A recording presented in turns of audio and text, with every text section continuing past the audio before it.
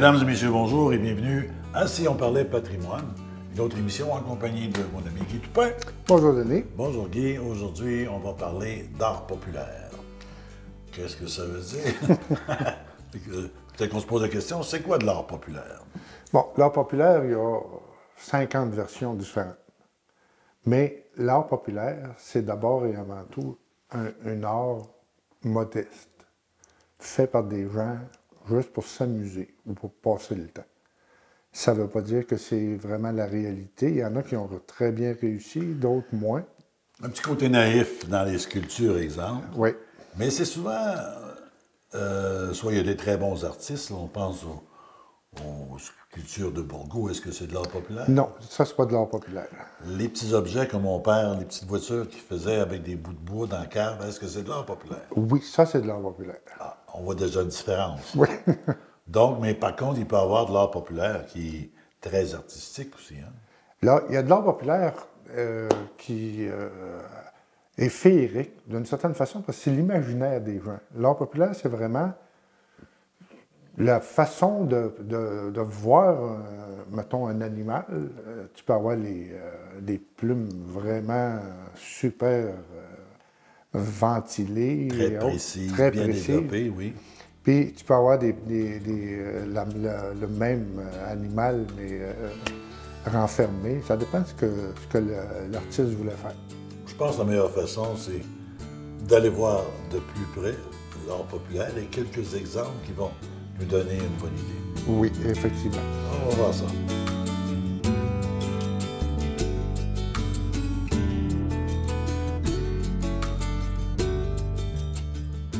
Alors, Guy, on est rendu en plein dans l'art populaire. Je me suis même découvert, un petit cheval. Euh, et je pense, on regarde le cheval, ça l'exprime vraiment c'est quoi l'art populaire. Oui. Les formes ne sont pas nécessairement les bonnes. Euh, tout ça ensemble, c'est pas nécessairement ce que de plus euh, artistique au monde, mais c'est quand même quelqu'un qui a pris du temps là-dessus. Bien souvent, c'est ça, hein, c'est un passe-temps, c'est une façon de passer le temps. C'est un passe-temps, mais en même temps, c'est euh, une expression populaire. C'est de là la fameuse euh, art populaire. C'est une expression populaire. Tu- et et c'est plus les collectionneurs qui ont ciblé ce type de pièces-là. On est deux pieds sur l'art populaire. Le Euh, tapis, Le, tapis, fait comme est ça. devenu, parce qu'il y a des collectionneurs, fait que tu as des, des pièces comme ça, c'est devenu de l'art populaire. Tu as des couvre-lits, tu as des courtes pointes qui sont devenus de l'art populaire. Puis les tapis à langue, qui, sont très connus, euh, c'était très décoratif. C'est devenu aussi des pièces d'art populaire. Fait que les pièces d'art populaire, c'est qualifié par les collectionneurs plus qu'autre chose. Le mobilier, selon les décors, peut être de l'art populaire. Les chaises peuvent devenir de l'art populaire. Mais le début, véritablement, de l'art populaire, c'est le monde animalier. Et ça, ça débute avec le début du siècle? Ça débute, on, on a véritablement un, engou- un engouement pour les pièces à la fin du 19e, parce qu'on va mettre sur, son, euh, sur sa grange ou sur sa maison un coq, un, un castor, un cheval. Puis c'est c'est de là que la première partie de l'art populaire est, est arrivée. Alors, c'est vraiment ce qu'on retrouve là, derrière nous, les principaux, principales figures. Il y a des formes très différentes aussi, je remarque. Là, euh, c'est euh, soit très élancé, c'est grossier, c'est. euh, mais tout ça, c'est bon. L'expression de, de populaire. Tu as vraiment ça, là. Il y en a même qui vont mettre des plumes après les, plutôt que de peindre. Tu en as qui vont faire des chevaux comme ça, mais sans peinture. Il y en a d'autres qui vont faire une finition à la peinture. Tout est, est, est amalgamé. Je ne veux pas faire le philosophe ou le grand historien, mais si on, on compare ça aux, aux hommes des cavernes qui dessinaient des, des, des, des- des chèvres, des, des chevreuils dans, dans les cavernes, C'est une expression populaire. ça pourrait, on pourrait dire que c'est la suite d'un logique de tout suite. ça. C'est, un peu une nécessité de, de- de construire quelque chose, de, de- de faire une expression ou de donner une expression à une pièce de bois, ça devient un, besoin pour certains. On a aussi de, très beaux exemples, une très belle collection de tout ce qui se rapporte aux voitures, chevaux, à la ferme. On a une collection, je pense, qui est assez exceptionnelle parce qu'on y retrouve beaucoup de traditions, beaucoup d'objets, de, travaux qui n'existent plus aujourd'hui. Mais c'est un peu ça, l'expression populaire. Hein. Il y en a beaucoup qui vont se confiner au monde qu'ils connaissent. Donc, tu vas avoir véritablement des pièces maîtresses là, que tu avais dans l'agriculture. Euh, tu sais, en Europe, à, la fin du 19e siècle, on fait des bateaux dans des, dans des bouteilles. Puis c'est la grande mode, puis c'est véritablement, puis c'est des maquettistes. Hein? C'est vraiment quelque chose, puis c'est à l'échelle, c'est très précis. Il y en a qui l'ont vu, puis ils ont décidé de faire dans des bouteilles des pièces d'or populaire. c'est vraiment des choses uniques. Puis c'est la vision. On beau aimer ou pas aimer, ça reste que c'est une vision d'une œuvre. C'est l'important qu'il faut retenir de l'or populaire. Tu vas me parler de, tu viens de parler d'objets dans des bouteilles. C'est comme euh, le caramel dans la caramel. Peux-tu m'expliquer comment on pouvait monter un voilier dans, dans, une bouteille? C'est des longues pinces. On les monte euh, déjà en, nature, sur une table, puis on va les prendre morceau par morceau, on va les installer avec une longue pince, tranquillement, pas vite. On va redresser les voiles, on va faire toute la mise en scène. Mais l'art populaire, c'est beaucoup plus rustique, si tu veux. C'est minimaliste. Tandis que euh, ceux, qui faisaient les, maquettes de bateaux, écoute, c'est euh, des, centaines d'heures d'ouvrage, tandis que ça, c'est peut-être 20 euh, heures d'ouvrage. Et souvent, on remarque aussi que, je prends l'exemple de mon cheval, que la planche de bois, c'est celle qu'on a trouvée dans la cave. c'est de la récupération. On récupère vraiment. Hein? C'est vraiment un passe-temps. C'est pour s'amuser, c'est pour changer les idées. Euh. Puis finalement, souvent, ça pouvait servir de cadeau de Noël pour les enfants. On y avait de tout là-dedans. L'art populaire, euh, c'est devenu. Il y a des canards qui sont devenus de l'art populaire, mais à l'origine, il y avait une fonction. On, chassait avec. C'était l'appel pour appeler les canards. Fait que, tu vois, il y en a pour tous les goûts, tous les, les styles. Tu vas me parler d'un art que tu aimes beaucoup, l'art populaire, dans un objet que tu aimes beaucoup, c'est les moules à sucre. Ah, ben les moules à sucre sont ben, encore, encore une fois, c'est une tradition, sauf que la tradition a véritablement euh, une fonction. Parce que celui-ci, on peut appeler ça de l'art populaire, sauf qu'elle avait une fonction. Le cœur, c'était permettait, quand tu offrais ça à une fille, pendant le temps des sucres, euh, tu tombais fiancé si elle l'acceptait. Vous avez le droit à un bec sucré, je suppose. Tu avais le droit à un bec sucré, mais c'est pour ça. Mais dans les moules, il y a beaucoup de, pièces magnifiques d'or populaire. Mais c'est ça, c'est dans le fond, c'est le collectionneur qui a qualifié, puis qui a identifié tel type. Parce que c'est, ça, a euh, un réel, une réelle fonction Sauf que, vu qu'on n'en fait plus, aujourd'hui, c'est devenu, c'est devenu un objet Et Toi, tu as eu la chance, en travaillant au Musée de la civilisation, de voir l'évolution de, la, de l'importance de l'art populaire qui a attiré beaucoup aussi les collectionneurs, parce qu'aujourd'hui, je pense que c'est très recherché. Il y a des objets qui étaient dans les granges, qui étaient perdus ici et là, qui valaient une petite fortune, parce que ça a une valeur aujourd'hui. Oui, puis euh, c'est les collectionneurs eux-mêmes qui souvent vont faire des, euh, volumes sur tel type d'artiste, tel type d'artisan dans telle région et autres. Et c'est là qu'on comprend que l'art populaire, c'était très populaire, à peu près partout. Dans toutes les régions, il y en avait. Puis des, personnages cachés souvent. Il y en a, euh, nous, au musée, je me souviens, on a acquis une collection, le, monsieur n'avait pas vendu une. Toutes les pièces étaient dans la maison chez eux. C'était son environnement naturel. Puis il y avait de tout là-dedans.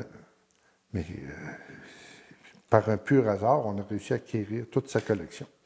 Et toi qui as parcouru aussi le Québec, est-ce qu'on pourrait, euh, en ayant 5-6 pièces, dire elles proviennent de ces régions-là, de cette Oui, région-là ou oui. a Comment, des- comment on pourrait faire ça? Écoute, il y a des caractéristiques. On- quand tu arrives dans Charlevoix, il y avait des bouchards qui faisaient de très belles truites en bois. Puis de très bien peints, etc. Écoute, il y a à peu près juste eux autres qui, faisaient ce type de pièces-là. Tu vois, c'est local, mais c'était très pratique. Les gens passaient dans Charlevoix l'été, il y avait des, des villégiateurs qui allaient. Kiosque, du petit kiosque touristique. Euh, tu arrives à Gaspé, les bateaux. les petits bateaux, puis avant que ça soit fait en, Chine ou à Hong Kong, c'était fait durant l'hiver, puis il y en avait de, de magnifiques. Puis il y a des bateaux là-dedans qui sont euh, vrais- véritablement des, des chefs-d'œuvre. Des chefs-d'œuvre.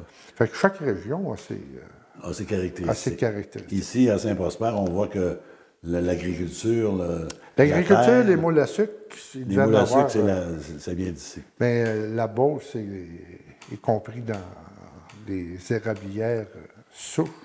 On est assis sur deux magnifiques chaises berçantes. Euh, les chaises, tu m'as toujours dit qu'une chaise, ça parle. Oui. On pourrait faire peut-être l'histoire du Québec avec des chaises. Oui. Seulement que des chaises. Et certaines sont de l'art populaire aussi. Mais ça dépend de- de- du motif, ça dépend des choses. Là, on en a, c'est des chaises ordinaires. Ça, c'est une chaise industrielle euh, américaine qui date, euh, on appelle ça du chêne moyen euh, américain. Euh, c'est très caractéristique. On les reconnaît de façon euh, efficace. Là, puis on, on- on sait à peu près l'année juste par le, le faciès qu'on appelle. Mais on est capable de dire que c'est des années Mais 30. parle-nous de la versante. Moi, à chaque fois que je t'entends parler de la versante, qui est presque qué- québécois ou nord-américain, euh, dans, Mais c'est un univers. hein. On avait peu de moyens de sortir de chez nous. hein. Le- de- de- 80% de la population au Québec, avant 1930, vit dans les, euh, les rangs, vit en campagne. Qu'est-ce qu'on fait? Ben, On s'assoit dehors, sur le balcon, puis on se berce. On passe des soirées euh, à, se bercer et à, à raconter des histoires. La chaise berçante est, un incontournable, puis je dirais un, accessoire indispensable aux conteurs, aux, danseurs, aux musiciens et aux. Mais dans toutes les maisons, tu avais la chaise berçante du grand-père, personne n'avait le droit d'aller là-dessus. Puis, tu sais, avais des particularités, mais on n'a jamais autant vu de chaises berçantes dans des maisons qu'au Québec. En Europe, c'est plus rare? Ah, tu- en France, des, des berçantes, tu ne trouves pas ça. OK. Alors, nous autres, ça a- C'est on américain de conception, mais c'est les, les Québécois qui l'ont nationalisé, si tu veux. C'est vraiment euh, une empreinte très particulière du Québec. Et je, te- je suis pas mal certain que tu as vu des chaises berçantes de grand-père tellement usées que le berceau était presque plat. Oui, puis on n'osait même pas échanger. Puis chaque, il y avait dans, dans chaque municipalité, tu avais des faiseurs de chaises. Un chaisier qu'on appelle, mais les, les gens chaisiers, ils Ouais. connaissaient moins un, ça. faiseur, un faiseur de chaises. Un faiseur de chaises. Fait que là, tu pouvais faire, ta chaise sur commande. Puis il te le livrait euh, quand tu, tu la voulais. Les modèles les plus populaires qu'on pouvait trouver. Les modèles les plus populaires, c'est avec des bras comme, tu vois, des appuis-bras comme il faut. Euh, Celle-ci euh, a des boules exprès, mais en même temps, c'est parce que ça lui donne de la force. Parce que c'est c'est ce qui tient les, les- les bras. Tandis que toi, c'est vraiment industriel, euh, raffiné. Derrière, tu en as une qui est vraiment sculptée. hein, elle sort de- vraiment de l'ordinaire. Fait que la personne voulait avoir quelque chose.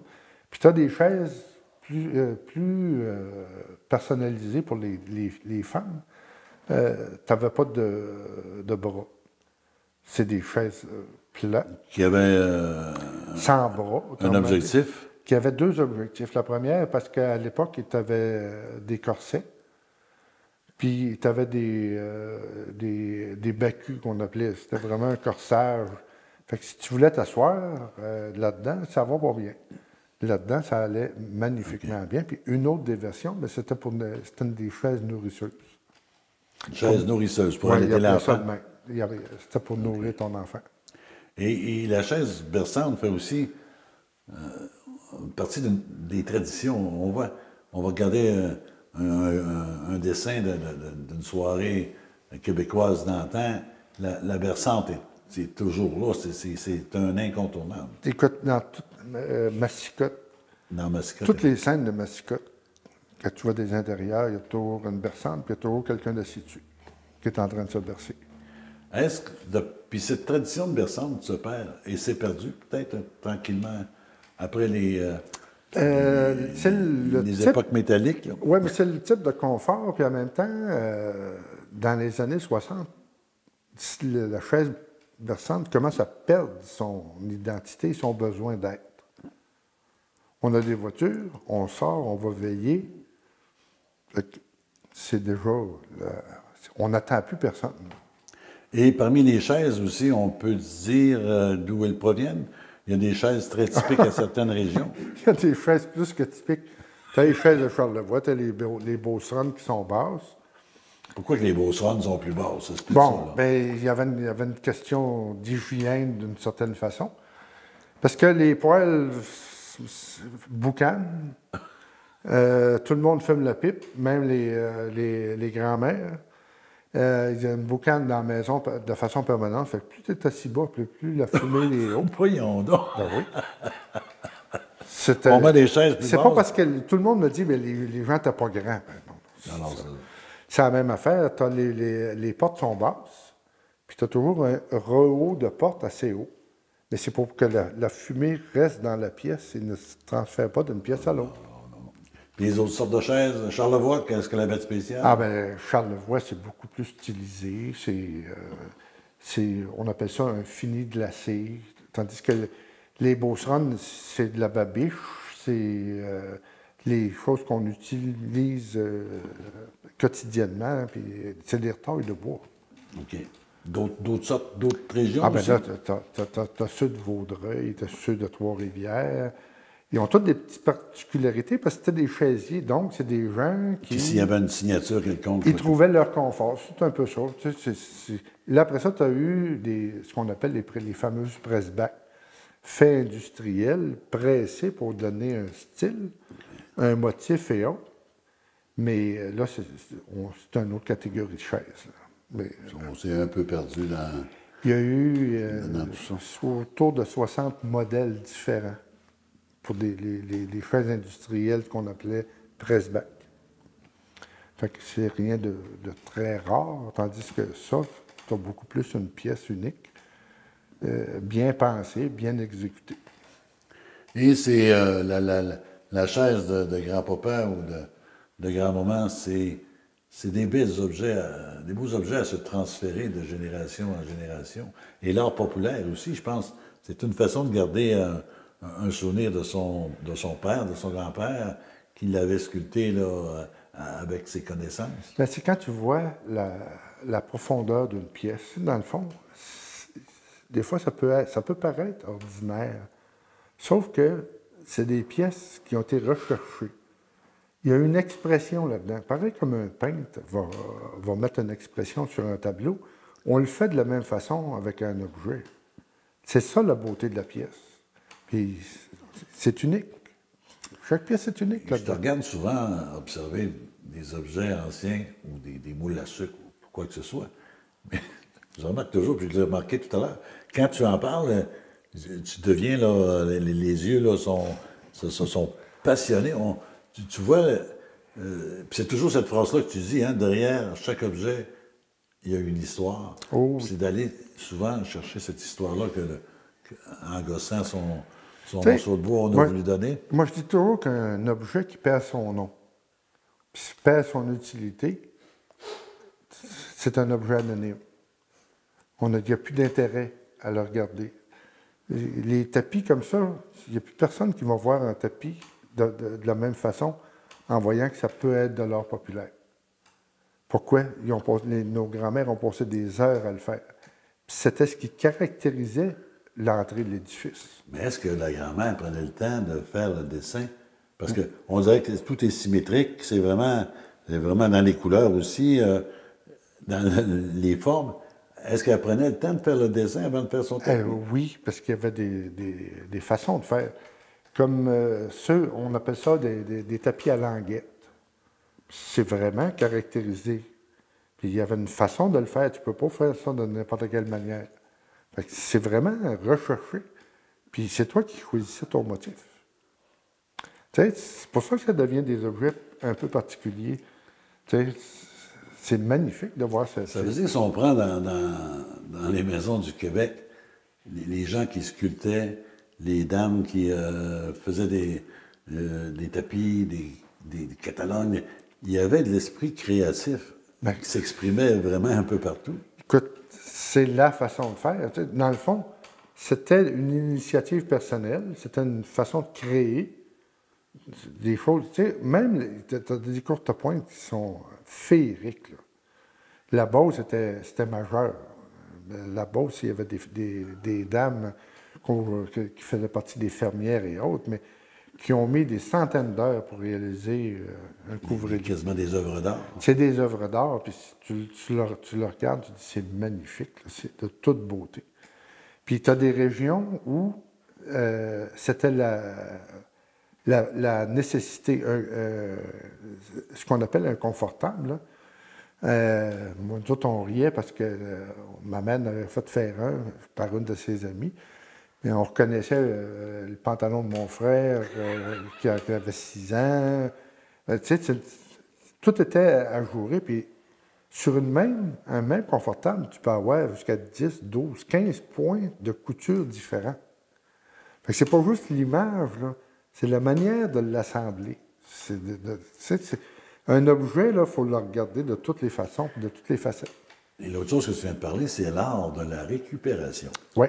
Qu'on fasse euh, quoi que ce soit euh, qui, qui ressemble à l'art populaire, on, on allait rarement acheter du matériel pour ça. Mais non, les tapis, c'est fait avec du- des vieux vêtements usés. Ça, c'est la finition d'un vêtement, c'est en tapis. C'est en tapis ou en laise pour les, les corridors ou les descentes de lit. Et les- l'art populaire, c'est des petits bouts de bois qu'on avait un peu partout. C'est, oui, puis c'est, décoratif. Il y a des gens qui ne faisaient que des oiseaux. On en connaît, puis euh, c'était très stylisé. Lui, il, il sculptait, puis sa femme les peignait. Fait que tu avais deux artistes dans la même famille. Est-ce que l'art populaire maintenant est reconnu là, au point de vue euh, patrimonial, au point de vue culturel? Est-ce que c'est vraiment reconnu ici et, et partout ailleurs? Écoute, au Québec, euh, il y a tellement de, de bons artistes qu'on on n'a pas pu faire autrement que de, de- de faire un répertoire. Il y a un répertoire. Ah oui, OK. Et par région, tu peux savoir à peu près. Puis ça, c'est les collectionneurs privés qui ont fait ce type de, recherche-là, ce qui aide grandement à normaliser le, le terme euh, œuvre populaire. Ce qui est difficile, c'est de donner euh, soit un prix, soit une valeur. hein. Il, y a, il y a des grands noms, bien sûr. Là, Ah, il y a des, il y a choses. des très grands noms, effectivement. Mais euh, pour un évaluateur comme toi ou quelqu'un qui, qui cherche des raretés pour un musée, c'est de trouver que- qu'est-ce qu'on cherche? On cherche euh, l'aspect euh, très représentatif. Euh, tu sais, je te donne l'exemple d'un moule à sucre que je me souviens, qui vient de Beauce. C'est un éléphant. Le fameux éléphant Jumbo, là, que tout le monde a entendu parler, puis qui était sur les bouteilles de liqueur et autres, a eu son histoire. C'est un jeune qui s'en va à Québec, puis qui voit sur des affiches un éléphant. Parce que le cirque était en ville. Puis il a vu l'animal, il est revenu chez eux, puis il dit à son père Et tu- J'ai vu un animal qui est quatre fois plus gros que ton bœuf, puis le bonhomme avait le plus gros bœuf dans la région. Puis il n'a jamais cru son fils, fait que son fils l'a sculpté. Alors, il avait vraiment exprimé ce qu'il avait vu. Mais tu vois, c'est une, une façon de faire. Alors, euh, es-tu d'avis à nous dire qu'on a une des belles collections ici, Ah, qui, qui est très représentative un peu de ce qui se faisait? C'est euh, as- assez complexe parce qu'on a à peu près de tous les types. On a même euh, les, euh, les, les- petites miniatures, on a des pièces euh, usuelles, on a beaucoup de variétés. euh, autant dans le monde animalier que dans les tapis, couvre-lits et autres. Oui, on a une magnifique collection. Les chaises, la même chose. On a des. des, des, des, Comme c'est sans fin, une chaise. hein, des- on est, Tu, peux est tu en collectionner 10 000, puis... tu C'est ne ça, il n'y a, pas- y a de- presque pas de fin Il y a là-dedans pas de non fin plus. Là. Alors, même si on n'est pas chaisier, on peut apprécier les chaises.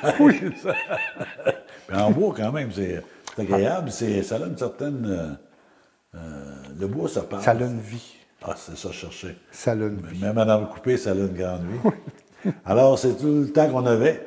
Euh, on vous invite à venir euh, justement à Saint-Prosper, au manoir. On a ce- cette magnifique exposition sur l'art populaire, les chaises. Et c'est une belle façon de, de voir un peu. Notre monde d'une autre façon. C'est vraiment, c'est ça. C'est comme si on regarde un peu le, le passé du, Ouais. le passé du Québec de nos, nos parents, nos ancêtres, mais vu un peu d'un autre coup d'œil. Et ça, il faut en prendre soin, d'après toi? Oh oui, beaucoup. Il faut les garder, il faut les transmettre. Surtout les transmettre avec les informations qui vont avec. C'est ça, parce qu'on n'oublie jamais qu'un un objet, ça a toujours une histoire, mais il ne faut pas le perdre. Puis- Ça ne vaut pas la perdre. C'est ce qui fait la valeur d'un objet. Alors là-dessus, merci beaucoup. À la semaine prochaine, j'espère que ça vous a plu et on vous invite à, à prendre soin de vos objets, art populaire ou non.